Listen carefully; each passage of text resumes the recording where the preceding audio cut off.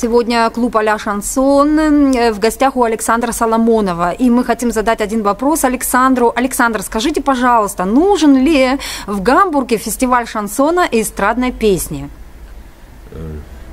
Все зависит от того, что это будет за фестиваль. Я думаю, что нужно пробовать, а, а опыт покажет, нужен он или нет.